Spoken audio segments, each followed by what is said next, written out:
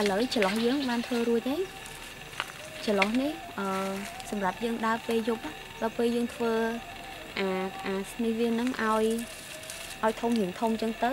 ភ្លើងវាធំល្អអញ្ចឹងយើងមើលផ្លូវទៅវាឃើញច្បាស់ល្អនេះចន្លោះរបស់យើង